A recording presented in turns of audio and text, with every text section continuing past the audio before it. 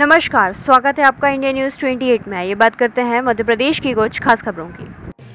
मध्य प्रदेश के महू में गरीब झुग्गी झोपड़ी निवासियों को त्रिपाल वितरित किए। डॉक्टर अंबेडकर की जन्मस्थली महू में सामाजिक संस्था रेन ड्रॉप्स और विशिष्ट ज्योति संस्था इंदौर के संयुक्त प्रयासों से डोंगर गाँव महू पुलिया के आसपास रहने वाले गरीब निर्धन असहाय झुग्गी झोपड़ियों में निवास करने वाले लगभग 80 से सौ झोपड़ियों में रहने वाले लोगों को निःशुल्क त्रिपाल वितरित की गई।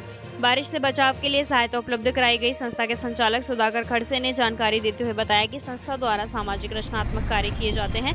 इस अवसर पर दशरथ अहिरवार जयप्रकाश वीरेंद्र चौहान, प्रवीण सोलंकी, अजय सिंह मुन्ना, पहलवान किशोर गोलू चतुर्वेदी उपस्थित थे। MP state coordinator Rajesh Khadse की रिपोर्ट।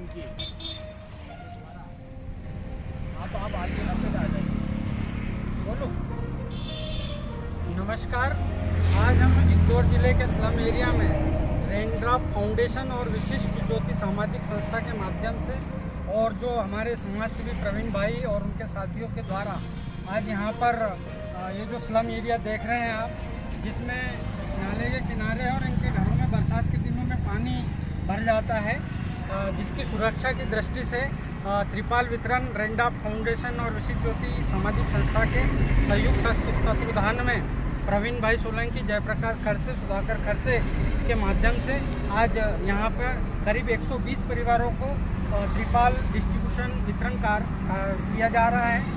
और हम रेंडा फाउंडेशन का बहुत बहुत आभार और धन्यवाद प्रकट करते हैं।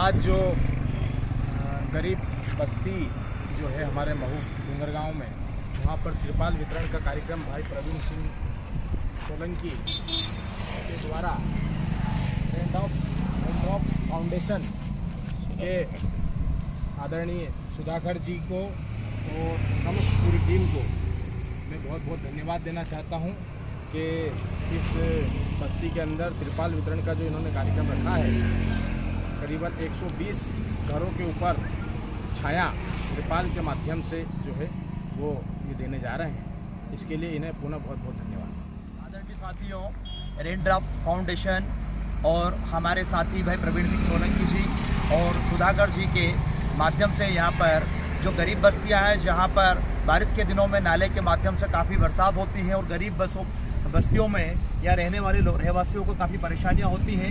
उनकी घरे, घरों की छतें यहाँ पर टपकती हैं। यहाँ पर मैं कहूँ कि एक समाज सेवा का अनुकरणीय काम करते हुए रेड्रा फाउंडेशन ने यहाँ पर बहुत ही अच्छा कार्य किया है। उनके माध्यम से 120 परिवारों में यहाँ पर यहाँ पर त्रिपाल की व्यवस्था उनके माध्यम से की जा रही है। मैं सभी साथियों की ओर से यहाँ पर